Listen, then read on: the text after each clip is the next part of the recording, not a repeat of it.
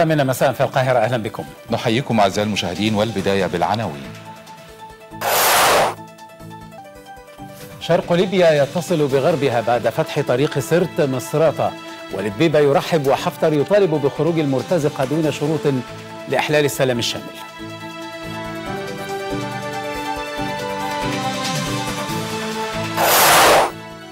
القضاء التونسي يفتح تحقيقا مع أربعة من أعضاء حزب النهضة بسبب القيام بأعمال عنف أمام البرلمان وأنباء عن اعتقال نائب برلماني على خلفية الأحداث.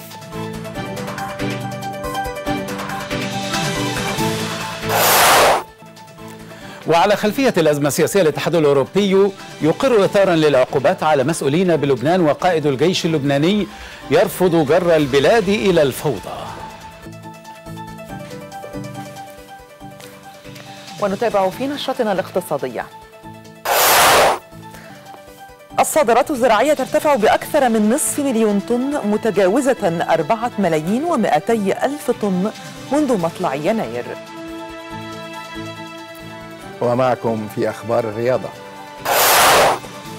اللجنة الأولمبية تهنئ فراعنة اليد بعد التأهل لربع نهائي أولمبياد طوكيو 2020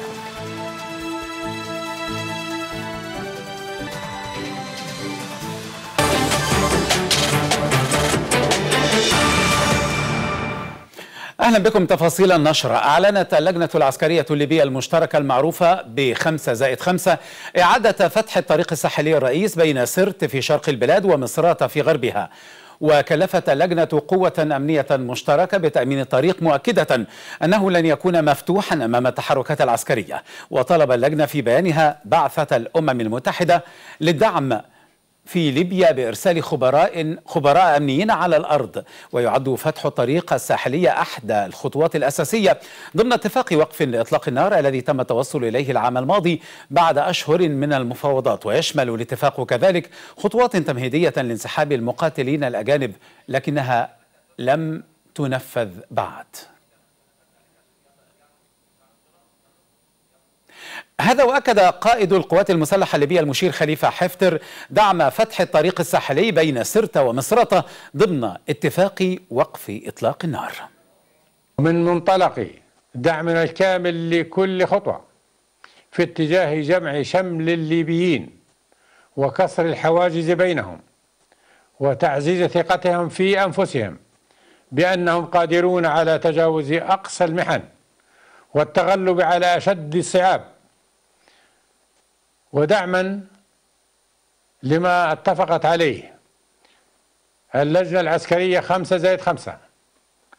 فإننا نعلن تجاوب القيادة العامة مع ما أفضت إليه مباحثات هذه اللجنة بشأن فتح الطريق الساحلي ونبارك للشعب الليبي هذا الإنجاز.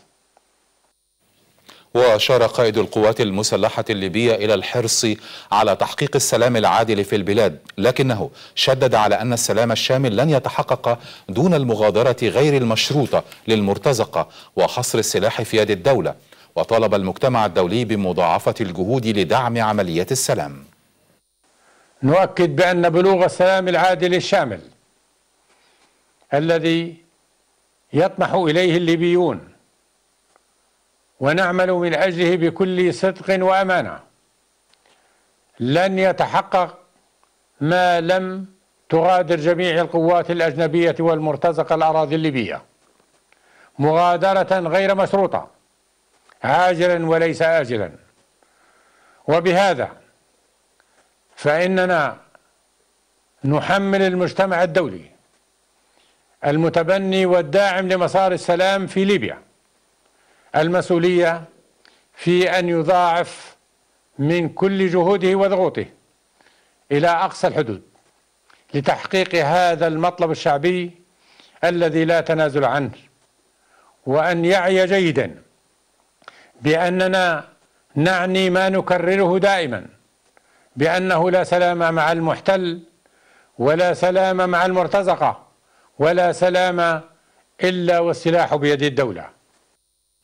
من جانبه رحب رئيس حكومة الوحدة الوطنية الليبية عبد الحميد الدبيبة باستكمال فتح الطريق الساحلي.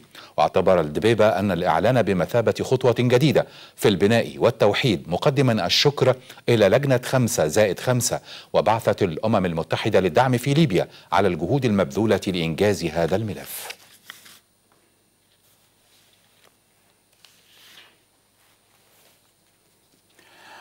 للمزيد حول هذا الموضوع ينضم إلينا الكاتب الصحفي المتخصص في الشأن الليبي سيد رضا شعبان. سيد رضا بعد التحية. يعني أهمية وتبعات إعادة فتح الطريق الساحليه الرئيسه بين مصراتة وسرت. يعني هو إعادة فتح الطريق هو تعزيز أحد بنود المصالحة الوطنية وأحد خطواتها وتعزيز الثقة بين الليبيين وإعادة مد الجسور بين الليبيين ورفع المعاناة عنهم في التنقل. بعضهم كان يستخدم بعض يعني الدول المجاورة كمحطات ترانزيت للانتقال إلى الشق الآخر من ليبيا. إضافة إلى رمزية هذا ال ال يعني رمزية هذا الطريق الذي كان الذي كان القوات القوى الأجنبية بعض القوى الأجنبية والقوى الدولية تحاول شطر ليبيا إلى إلى نصفين وتعزز هذا الإحساس. طيب. الطريق آه الطريق يذلل العقبات في الانتقال انتقال الليبيين داخل الأراضي الليبية إضافة إلى إنه يعني يسهل حركة التنقل والتجاره لكن آه. الخطوة كونها مقدمة على بعض خطوات وقرارات أخرى هو ما يثير التساؤل كانت هناك خطوة قرار صادر عن اللجنة العسكرية المشتركة في اتفاق جنيف وهو إخراج جميع المرتزقة الاجانب نعم هذه النقطة يعني يعني ما ما كنت سأسأل عنه حالا لأنه تأمين الطريق يبدو أولوية وتأمين بقية النقاط. تحدث لدبيبة في يعني نقطتين. مسألة ضرورة خروج المرتزقة ومسألة أن يكون السلاح حصريا في يد الجيش الوطني يعني بشكل أو بآخر هذا يعني تحدث أيضا قائد القوات الليبية المسلحة الليبية يعني يعني سيد حفتر صحيح. كيف ترى هذا الموضوع؟ نعم هو يعني ما هو يعني هذه الجزئية التي كنت أتحدث فيها. مسألة إنه فتح الطريق يأتي مقدم على خروج المرتزقة وخروج القوة وجلاء القوات المحتلة التركية للأراضي الليبية هي مسألة تحتاج إلى وقفة من المجتمع الدولي لإثبات حسن نيته، الجيش الليبي أثبت حسن نيته ووافق وفتح من جانبه الطريق الساحلي. ويعني أعتقد انه طبعا أن القيادة العامة للجيش الليبي تعزز تأمين المنطقة بالكامل إضافة إلى إنه يعني الأجهزة الاستخباراتية الليبية يقظة إلى حد كبير لعدم استخدام هذا الفتح في أمور أخرى. لكن على حكومه الوحدة الوطنية أن تدفع وتطالب أيضا إلى جانب المشير حفتر المجتمع الدولي بضرورة يعني الضغط بشكل كامل وكافي لإخراج المرتزقة من الأراضي الليبية والقوات التركية والتي تحتل جزء كبير من غرب ليبيا حتى تصير الخطوة إيجابية بشكل كامل. هو الحقيقة يعني إن لم يحدث ذلك ف يعني فلن يمكن إجراء الانتخابات في نهاية هذا العام في 24 من ديسمبر كما هو مقرر. شكرا جزيلا لك آه الأستاذ رضا شعبان هو المتخصص في الشأن الليبي. أكد الرئيس التونسي قيس سعيد تمسكه بتحمل مسؤولية حماية الدولة التونسية والتصدي لكل محاولات ضربها وتفتيتها. جاء هذا خلال استقباله لوزير الخارجية السعودي فيصل ابن فرحان. وأعرب سعيد عن بالغ شكره للعاهل السعودي وولي عهده على تضامن المملكة مع تونس في مواجهة جائحة كورونا مؤكدا متانة العلاقات التاريخية بين البلدين.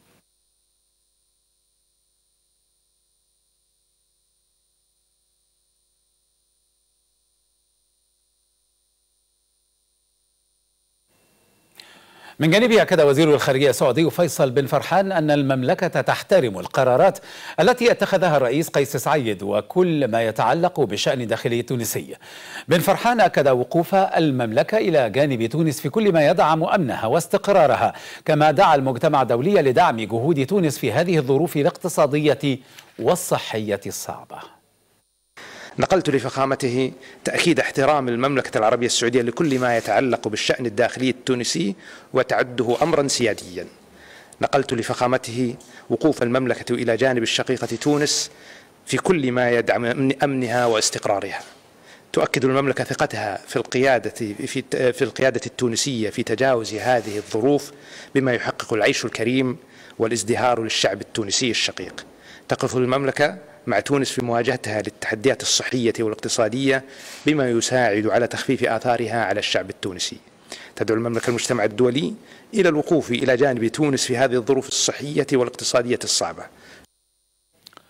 فتح القضاء التونسي تحقيقا مع أربعة من أعضاء حزب النهضة بتهمة محاولة القيام بأعمال عنف أمام البرلمان ومن بين هؤلاء الأربعة الحارس الشخصي لرئيس حزب النهضة راشد الغنوشي. أكن أنصار النهضة ومؤيدو الرئيس التونسي قيس سعيد قد تبادلوا الرشق بالحجارة والزجاجات أمام البرلمان يوم الاثنين الماضي. ويأتي هذا بينما ألقى الأمن التونسي القبض على النائب بالبرلمان ياسين العياري. حسب ما أفادت وكالة رويترز للأنباء. يذكر أن للعياري قضية في المحكمة الدستوري في المحكمة العسكرية وذلك منذ عام 2018 بتهمة المس بكرامة الجيش.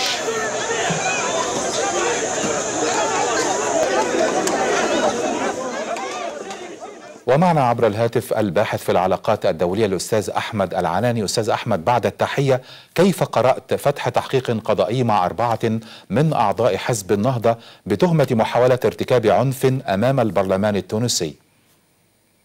يعني بكل تأكيد هو تحقيقا لمبدأ العدالة في الداخل التونسي ما نراه الآن من مشهد حقيقة يحترم من قبل القيادة السياسية من الرئيس قيس سعيد في تغيير يعني الحقيقة الأمر الذي يعني فرض على الدولة التونسية في الفترة الأخيرة حيث يعني استمرار حركة النهضة في التدخل في مفاصل الدولة في العمل على السيطرة على مفاصل الدولة. يعني العمل على خلق ميليشيات توازي الحقيقة يعني الشرطه والجيش في الداخل. التونسي على طريقة الحقيقة الجماعه الارهابيه جماعة الإخوان المسلمين. نعم. ومن ثم أعتقد أن هذه القرارات هي من وجهة نظري هي قرارات صائبة يعني تصب في نعم. مصلحة الدولة التونسية. بمعنى أن القرارات ليست مقتصرة على هذا فقط إنما يعني هناك بعض القرارات فيما يخص قضايا فساد. يعني هناك بعض القضايا الفساد يعني لبعض الحقيقة النواب في نواب حركة النهضه داخل البرلمان ومن ثم أستاذ أحمد يعني وضحت هذه النقطة لكن في رأيك لماذا لم يعلن الرئيس قيس سعيد اسم رئيس الحكومة الجديد حتى الآن؟ يعني أعتقد هناك مشاورات من قبل السيد الرئيس قيس سعيد على أن يكون يعني المرحلة تحتاج إلى رئيس يتولى هذه المهام لأن الحقيقة الدولة التونسية بتمر بأزمة اقتصادية كبيرة. يعني إضافة إلى ما تمر به من أزمة سياسية في الوضع الحالي. إنما الرئيس قيس سعيد يريد أن يريد أن يكون هناك رئيس حكومة تكنوقراط يعمل على تخليص الحقيقة الدولة التونسية من أزمتها الاقتصادية الحالية. هذه نقطة. أيضا هو ينظر إلى الاستقرار ويريد حكومة في واقع الأمر يعني تعمل على المستوى الحقيقة السياسي القوي تكون قريبة من الناس في الشارع تلبي مصالح والحقيقة يعني طموح الشعب التونسي لأنه هناك يعني ما قلت لك قبل قليل أزمة كبيرة اقتصادية في ظل يعني تنامي أزمة كورونا في الداخل التونسي. اذا يعني الرئيس قيس سعيد يتمهل ويتشاور مع كافة الأطراف الحقيقة حتى من الأحزاب السياسية الموجودة في الداخل التونسي. لا ننسى أن هناك أحزاب سياسية فاعلة في الحقيقة الدولة التونسية. ووقفت بجوار خيارات رئيس الجمهورية لأنها رأت بالفعل أن هناك فساد هناك فساد استشرى داخل المؤسسات التونسية. هناك سيطرة لحزب لحركة حزب النهضة في واقع الأمر داخل المناصب التي شغلت في الحكومة التونسية في السابق. أضف إلى ذلك نقطة هامة أيضا أن يعني الحكومة عفوا الأحزاب السياسية في الداخل التونسي مع الشعب التونسي تقف مع الرئيس قيس سعيد نعم أشكر ضيفي عبر الهاتف الباحث في العلاقات الدولية الأستاذ أحمد العناني. شكرا جزيلا لك.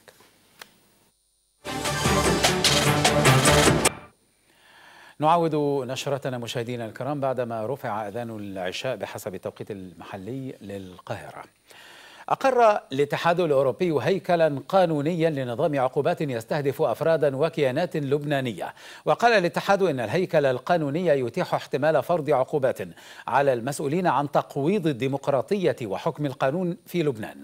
ودعا القيادات اللبنانية إلى تنحية الخلافات جانبا والعمل معا لتشكيل حكومة واتخاذ إجراءات لتحقيق تعاف مستدام. وقد يشهد نظام العقوبات فرضا لحظر سفر وتجميد لأرصدة أفراد حيث من من غير المرجح تحديد المستهدفين بالعقوبات قبل نهاية الصيف. في الإطار ذاته أعربت فرنسا عن استعدادها لزيادة الضغوط على المسؤولين اللبنانيين من أجل تشكيل حكومة جديدة وأكدت أن تقديم المساعدات مشروط بتشكيل الحكومة.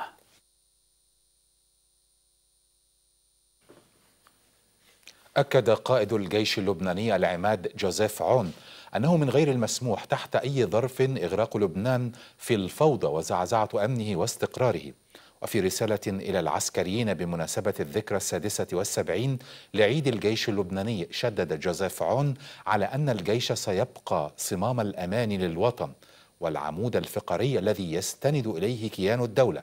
وأضاف أن الأنظار تتجه إلى المؤسسة العسكرية التي تبقى محط آمال اللبنانيين بعدما أثبتت وطنيتها الجامعة وحازت على ثقة الشعب ودول العالم بحسب تعبيره ودعا العسكريين إلى عدم السماح لأحد باستغلال تردي الوضع المعيشي للتشكيك بإيمانهم بوطنهم ومؤسستهم.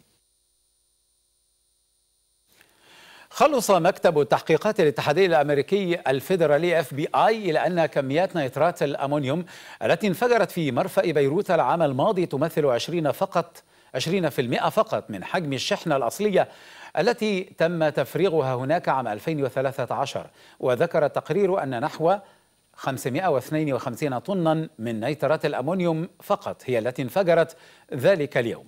بينما كانت الشحنة الأصلية تزن 2754 طنا ولم يوضح التقرير أين ذهبت باقي الشحنة. يأتي ذلك فيما أبلغ الرئيس اللبناني ميشيل عون المدعي العام باستعادة باستعداده للإدلاء بإفادته في انفجار المرفأ. إذا رغب رغب في الاستماع إليه وقال عون أنه لا أحد فوق العدالة مهما على شأنه. هذا ووقع الانفجار في الرابع من أغسطس الماضي وأدى إلى مقتل 214 شخصا وإصابة أكثر من 6500 كما دمر أحياء عدة في بيروت.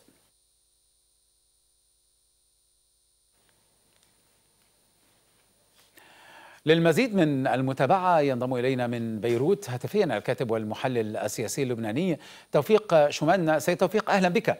يعني بعد هذه التحقيقات أن تكون كل هذه الكمية غير مستدل عليها أمر يبعث على القلق حتى اللحظة مدى صدقية ما وصل ما وصلت إليه هذه التحقيقات خاصة أنه من يتحدث هو ال FBI يعني اولا تحياتي إليك ولكل المشاهدين طبعا التقرير أو المعلومات التي تضمنها تقرير ال FBI آه. هي متداولة في بيروت تقريبا منذ ما بعد أيام من الانفجار شبه النووي الذي ضرب العاصمه اللبنانيه م.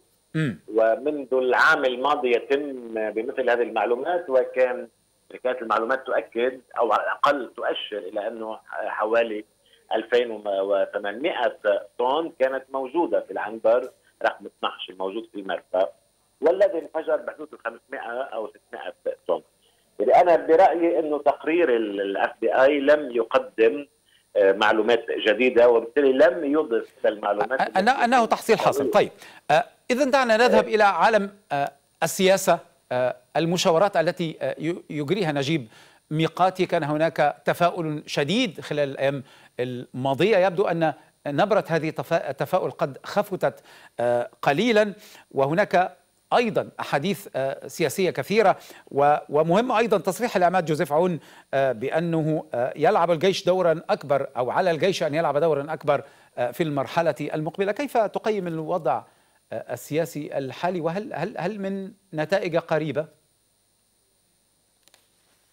يعني بدي أبدأ في البداية من ما قاله قائد الجيش العماد نعم. جوزيف عون، طبعا هو طبعا في الكلمة التي وجهها بذكرى تأسيس الجيش اللبناني حذر أيضا يعني من مصاعب آسية قد يعانيها لبنان في الفترة القصيرة المقبلة نتيجة انهيار الأوضاع السياسية والاقتصادية والمالية وحتى أن الأمن الاجتماعي أصبح مهدد بالكثير من عناصر الخوف والقلق هذا كان يعني مضمون الكلام الذي تقريبا تحدث به قائد الجيش اللبناني أعود واكرر ما له علاقة أو هو حذر ووضع الجيش في مشهد احتمال أن يتم تدهور الوضع في لبنان. على المستوى المالي والاقتصادي والاجتماعي والامني.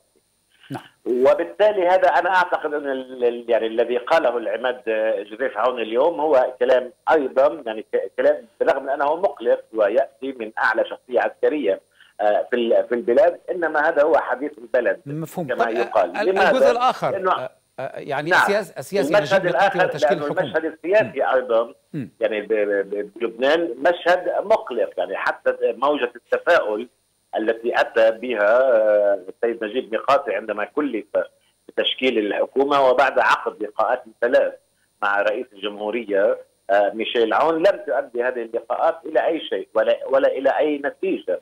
هلا نحن بانتظار يوم الاثنين ولكن هناك صعوبات في تقديري أن يتم التقدم ولو خطوة واحدة في اللقاء المتوقع يوم الاثنين لأن التعقيدات والعراقيل التي حالت دون أن يعني التي حالت دون دون تشكيل الرئيس سعد الحريري للحكومة ما زالت هي نفسها هي هي. الان يعني م. يعني اولا ما له علاقة بتسمية الوزراء المسيحيين، الرئيس عون يريد تسمية كل الوزراء، وبالتالي الرئيس المكلف أو الرئيس المعتذر، يعني الرئيس المعتذر كان يسأل ما أنا رئيس حكومة لبنان كيف يمكن الا أسمي وزيرا مسيحيا أو وزيرين؟ وبالتالي أيضا الرئيس نجيب ميقاتي المكلف الآن يطرح السؤال نفسه. المسألة الثانية أيضا ما له علاقة بوزارتي الداخلية والعدل وهما وزارتان يفترض أن تكونا معنيتين بالانتخابات النيابية المفترض أن تجري في الربيع المقبل يعني في آخر الربيع أو في أول الصيف المقبل نعم. الرئيس نجيب ميقاتي لديه وجهة نظر تقول بأن هاتان الوزارتين يجب أن يشغلهما شخصيتان حياديتان.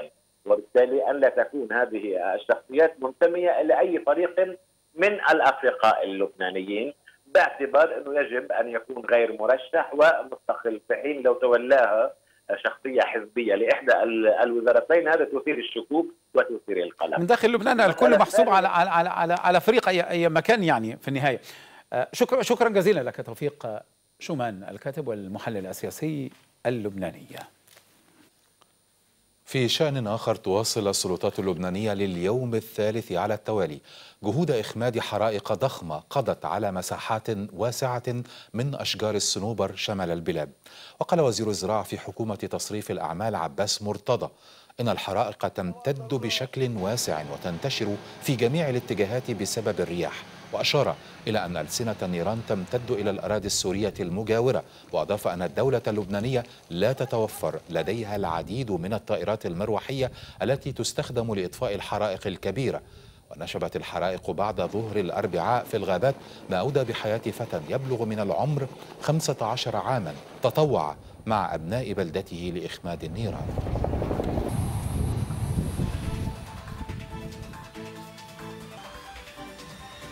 مشاهدينا الكرام هذه نشرة ما يزال فيها المزيد.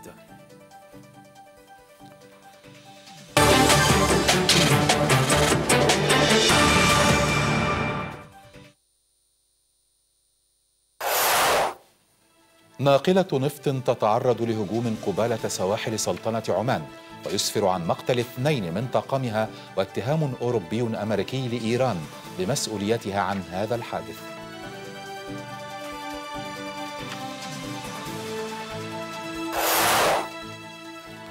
وواشنطن تبدأ إجلاء الأفغانيين المتعاملين معها إلى أراضيها وإقليم هلمند يشهد معارك ضارية بعد دخول عناصر الحركة عاصمة الإقليم.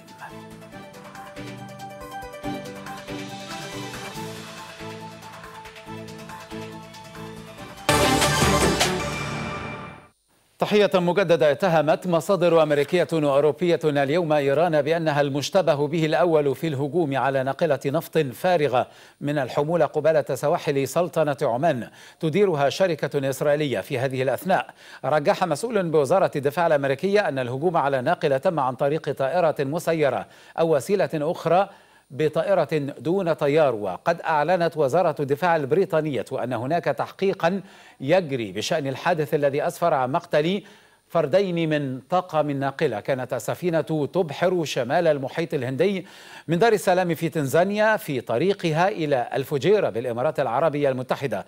وتعود ملكية ناقلة النفط إلى اليابان فيما تدير السفينة شركة زودياك البحرية. أعلن التحالف العربي أنه أحبط هجوما بطائرة مسيرة تابعة لجماعة الحوثي باليمن على سفينة تجارية سعودية. وشدد التحالف أن الهجوم يؤكد استمرار خطر جماعة الحوثي اليمنية على استقرار المنطقة.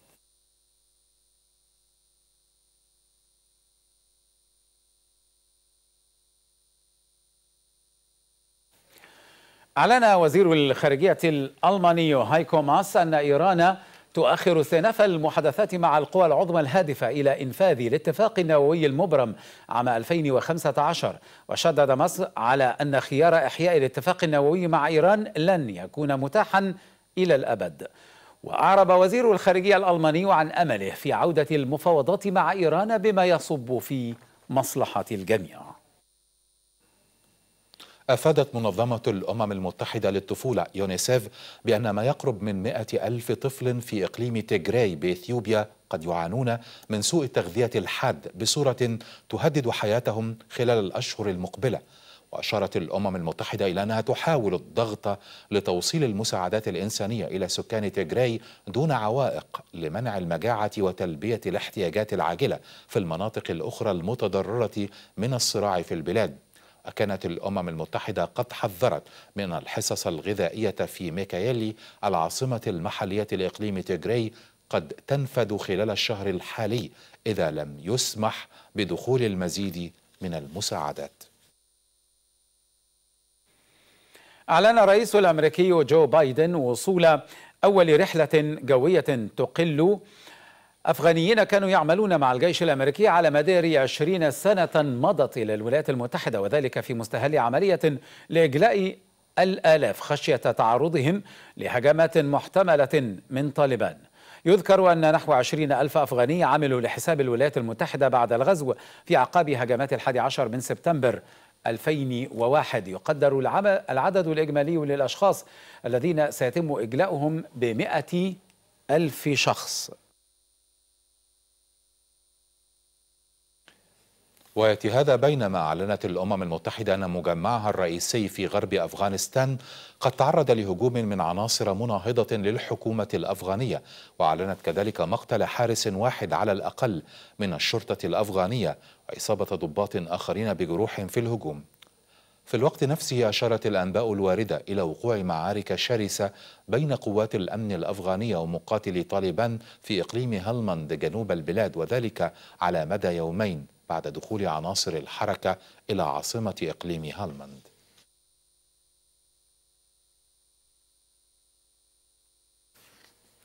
ومعنا عبر الهاتف للحديث عن الأوضاع في أفغانستان الدكتور مختار غباشي نائب رئيس المركز العربي للدراسات السياسية والاستراتيجية دكتور مختار بعد التحية هل تستطيع الحكومة الأفغانية فرض سيطرتها أم أن حركة طالبان ستعيد السيطرة على كامل البلاد؟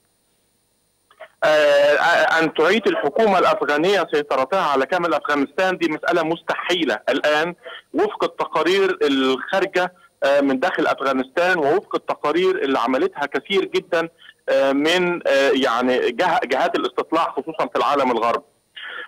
طالبان الآن تسيطر أكثر تسيطر على مساحة أكثر من المساحة اللي كانت بتسيطر عليها قبل 2001 من 399 إقليم في جميع أنحاء أفغانستان طالبان تسيطر فعليا على 268 إقليم بنسبة أكثر من 68% 122 إقليم بس من ال 399 إقليم في أفغانستان هي اللي موجود فيهم. قوات حكومية وما فيش سيطرة كاملة عليهم. الجزئية الثانية ودي جزئية مهمة جدا إن كثير جدا من المدن الحساسة في الداخل الأفغاني خصوصا في المناطق الشمالية والمناطق الشمالية الشرقية والأقاليم الوسطى غزني وميدان وريت كلها تحت طالبان.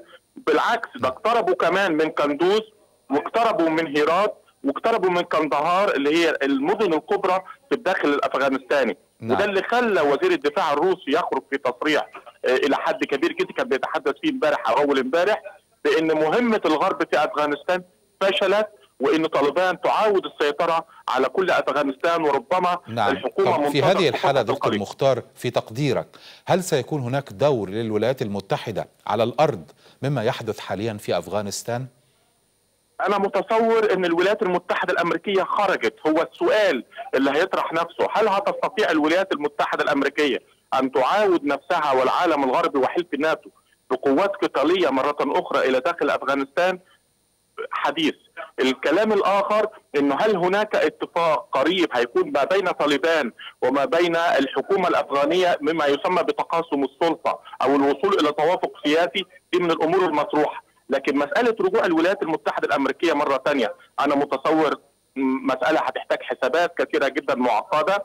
الجزئية الثانية ودي جزئيه مهمة جدا إن طالبان في في غفلة من الفترة السابقة دي استطاعت أن تسيطر على أقاليم مهمة وتفرض سيطرتها على كثير جدا من المناطق الحدودية زي طاجستان وأوزبكستان وتركمانستان. دي كلها مناطق الحدودية اللي بينها وبين أفغانستان تسيطر عليها طالبان بنسبة كبيرة جدا.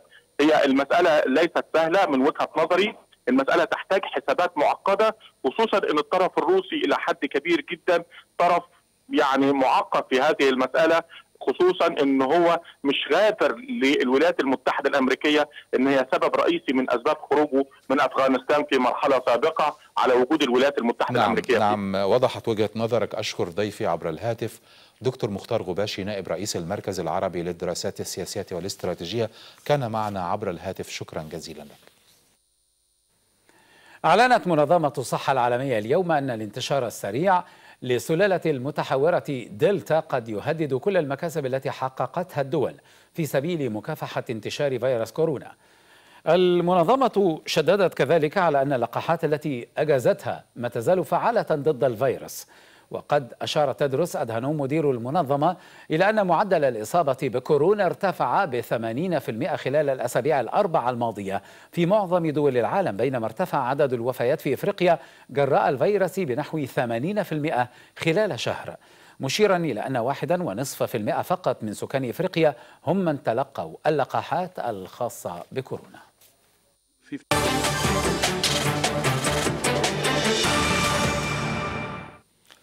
في إطار مبادرة كلنا واحد برعاية رئيس الجمهورية قامت إدارة شرطة الرعاية اللاحقة بتوزيع مساعدات عينية على المفرج عنهم وأسر السجناء بهدف دعم تلك الفئة لدمجهم في المجتمع.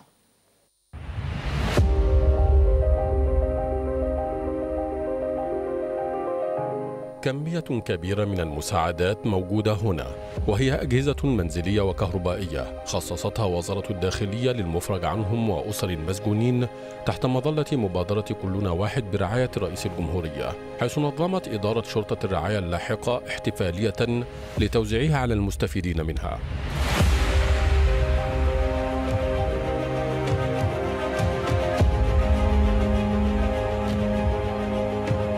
واقفين معانا جدا ربنا يبارك لهم. بنشكر السيد الرئيس وبنشكر كل جميع اللي هم مهتمين بينا في قلب الرعاية. ربنا يبارك لهم متشكرين جدا. جينا استلمنا البوتاجاز كنت مقدمة عليه واستلمناه على طول الحمد لله. توفير تلك المساعدات جاء بالتعاون مع بعض الجهات الحكومية والخاصة وفي إطار الدعم والرعاية التي تقدمها وزارة الداخلية لهذه الفئة بما يحقق لها وسيلة لحياة كريمة وكسب حلال بعيدا عن مسلك الجريمة. ما يؤدي في النهاية إلى دمجهم في المجتمع.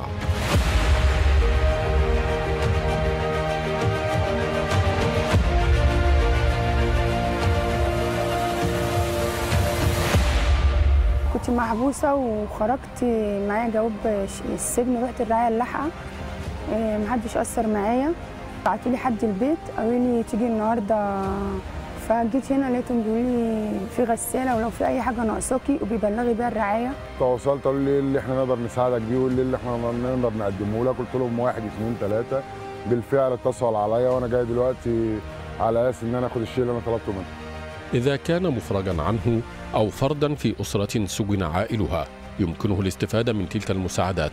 فوزارة الداخلية تتواصل معهم دائما وتلبي احتياجاتهم باستمرار مع إمكانية توفير سبيل لكسب حلال عن طريق مشروع يدر دخلا ثابتا عليهم. لما جوزي دخل السجن فقدمت الورق بتاعه كله بقوا يتواصلوا معانا بقى بالتليفونات وعايزة إيه وطلباتك إيه وبقى يجولنا و... والحمد لله كويسين.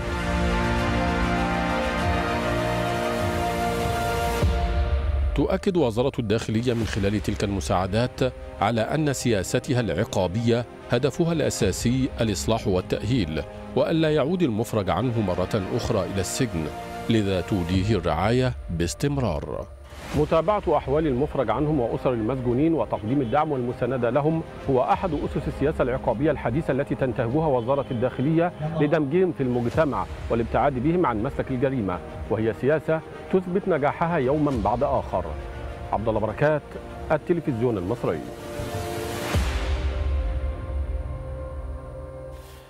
شهد وزير الأوقاف محمد مختار جمعة ومحافظ الدقهلية دكتور أيمن مختار شهدا افتتاح مسجد الشيخ عبيد بمدينة نبرو بعد إحلاله وتجديده. ليبلغ ما افتتحته وزارة الأوقاف أكثر من 1500 مسجد منذ سبتمبر 2020 وحتى الآن.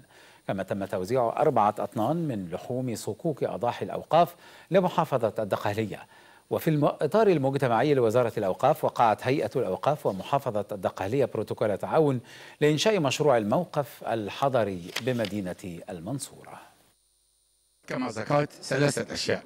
افتتاح هذا المسجد ضمن افتتاح عشرة مساجد ليصل إجمالي ما تم افتتاحه 1562 مسجد هذا العام. بإذن الله سنصل إلى ما يزيد على 1600 مسجد بنهاية شهر أغسطس ليكون إجمالي ما تم افتتاحه أكثر من 1600 مسجد في عام واحد وده بيأكد اهتمام الدولة المصرية بعمارة بيوت الله مبنى ومعنى. توزيع أربعة طن لحوم الدفعة الثانية في آه، لحوم صكوك الأضاحي يوم الثلاثاء المقبل. أربعة طن أخرى ستأتي إلى محافظة الدقهلية متوسط التوزيع اليوم 20 ألف طن. الحمد لله تجاوز إجمالي المبالغ حتى الآن 141 مليون بما يعني توفير 1400 طن. وقعنا اليوم بروتوكول هام جدا لإنشاء موقف حضاري في إطار الدور التنموي والاجتماعي لوزارة الأوقاف. الحقيقة يخدم كل الأطراف بيحقق يجمع كل المواقف من داخل المدينة فبيقدم خدمة هامة جدا لتسهيل حركة الأمور داخل المدينة. في جزء مجتمعي اللي هو حوالي 21 ألف متر ده المخصص لأماكن السيارات. إحنا عندنا أكتر من 14 موقف عشوائي. لما كل المواقف دي تتجمع في موقف حضاري كبير ويتم إدارته بشكل منظم ده بيعظم إيرادات الدولة وفي نفس الوقت بيخفف الحمل والعبء على المواطنين من الزحمة داخل المدينة. والآن أعزائي المشاهدين مع أخبار المال والاقتصاد والأعمال مع زميل الشروق عماد الدين.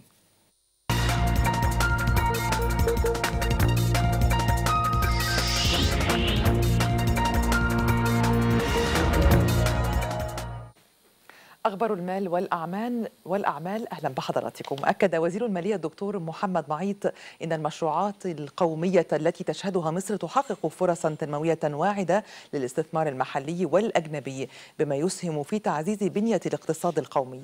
وأكد الوزير خلال لقائه بالسفير الهندي بالقاهرة حرص الحكومة على تهيئة بيئة مواتية للاستثمار بما يساعد في تعظيم الصادرات وتعزيز قدراتنا التنافسية بالأسواق العالمية.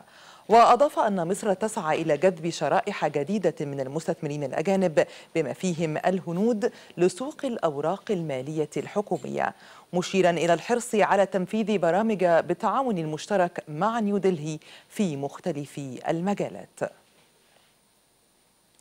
كشفت وزارة الزراعة واستصلاح الأراضي عن ارتفاع حجم الصادرات الزراعية المصرية إلى أكثر من 4.2 مليون طن منذ بداية العام الحالي حتى الآن بزيادة قدرها نصف مليون طن عن نفس الفترة من العام الماضي. وأشارت الوزارة إلى أن قائمة أهم الصادرات الزراعية عن هذه الفترة ضمت الموالح البطاطس البصل الفراولة الرمان البطاطا. فضلا عن الفاصوليا البنجر الجوافة الفلفل المانجو الثوم والعنب. وأضاف أن إجمالي الصادرات الزراعية من الموالح بلغت مليون وسبعمائة وخمسة وستين ألفا ومائتين واثنين طن بالإضافة إلى تصدير 619 ألفا و800 طن بطاطس لتحتل المركز الثاني في الصادرات الزراعية بعد الموالح.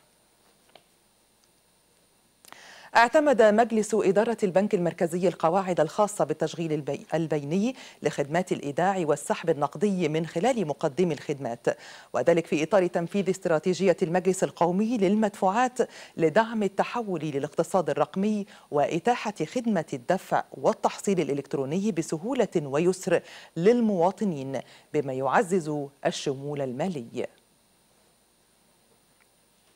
قالت وزارة السياحة السعودية إن المملكة ستفتح أبوابها للسياح ورفع تعليق دخول حاملي التأشيرات السياحية ابتداء من أول أغسطس المقبل. وذكرت وكالة الأنباء السعودية واس أنه يمكن للسائحين المحصنين بالكامل دخول المملكة دون حاجة إلى فترة حجر مؤسسي على أن يتم تقديم شهادة تطعيم رسمية عند الوصول وإحضار ما يثبت إجراء اختبار PCR وظهور نتيجته السلبية خلال 72 ساعة من وقت المغادرة. ويتعين على زوار المملكة تسجيل بياناتهم المتعلقة بجرعات التطعيم على البوابة الإلكترونية الجديدة المخصصة لذلك.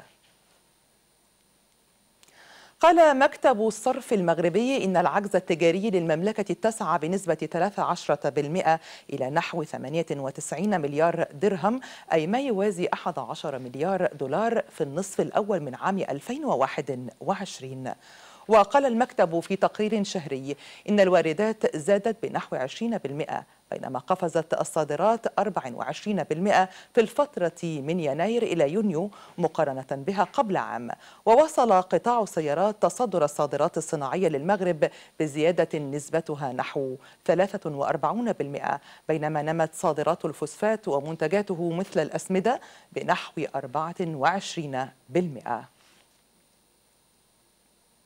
أظهرت بيانات أولية إن أن اقتصاد منطقة اليورو نما بوتيرة أكثر قوة من المتوقع. في الربع الثاني وأوضح مكتب إحصاءات الاتحاد الأوروبي يوروستات أن الناتج المحلي الإجمالي في 19 دولة تتعامل باليورو. نما 2% على أساس فصلي ليسجل زيادة 13.7 من 10% على أساس سنوي. كانت التوقعات قد أشارت إلى إمكانية تحقيق منطقة اليورو زيادة فصلية ونصف بالمئة وسنوية عشرة بالمئة. وبعدما تابعنا الاقتصاد مع شروق نذهب إلى أحمد يوسف لنتابع أخبار الرياضة.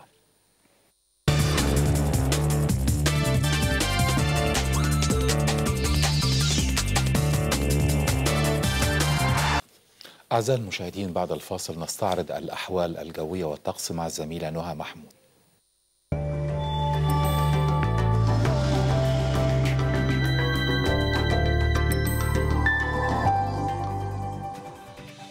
مشاهدينا أهلا بكم والنشرة الجوية. يسود طقس شديد الحرارة رطب على القاهرة حتى جنوب الصعيد حار رطب شمالا نهارا معتدل رطب ليلا وشبورة خفيفة صباحا ورياح معتدلة تنشط شمالا والبحر المتوسط معتدل. وعن سيناء فالطقس حار رطب شمالا شديد الحرارة رطب جنوبا نهارا معتدل رطب ليلا والرياح نشطه والبحر الأحمر معتدل. وعن التوقعات الثلاثة أيام القادمه نبداها من القاهرة. السبت 26 39 الأحد 26 40 والإثنين 26 40 أما شرم الشيخ.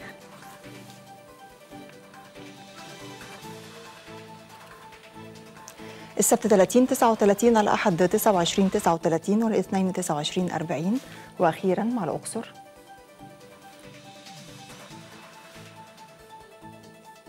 السبت 28 42 الأحد 28 43 والاثنين 28 43 أيضا. ونتعرف الآن مشاهدينا على بيان تفصيل درجات الحرارة المتوقعة بإذن الله.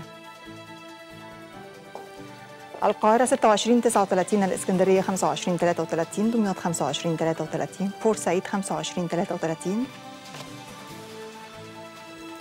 العريش 24 35 رفح 24 34 الإسماعيلية 24 39 السويس 26 38 مطروح 24 32 وادي النطرون 24 35 المنصورة 25 38 طنطا 24 38 دمنهور 25 35 سانت كاترين 17 33 الغردقة 29 40 شرم الشيخ 30 39 الفيوم 26 39 المنيا 26 40 أسيوط 26 41 سوهاج 26 41 قنا 27 42 الأقصر 28 42 الوادي الجديد 27 42 أسوان 28 42 حلايب 27 35 شلاتين 26 38 أبو رماد 26 37 رأس حضربة 27 34 نهاية النشرة وهذا تذكير بأبرز العناوين. شرق ليبيا يتصل بغربها بعد فتح طريق سرت مصراتة والدبيبة يرحب وحفتر يطالب بخروج المرتزقة دون شروط لإحلال السلام الشامل.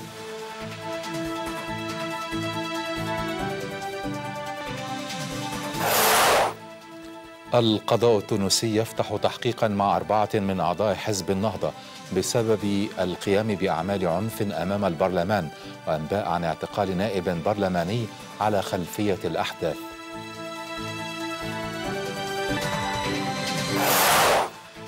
وفي إطار الأزمة السياسية الاتحاد الأوروبي يقر إطارا للعقوبات على مسؤولين بلبنان وقائد الجيش اللبناني يرفض جر البلاد إلى الفوضى. كما يمكنكم متابعة البث الحي لنشراتنا وبرامجنا والمزيد من الأخبار عبر موقعنا الإلكتروني ماسبيرو dot eg كل التحية لكل الزملاء ودمتم بكل الخير والصحة وراحة البال إن شاء الله. إلى اللقاء.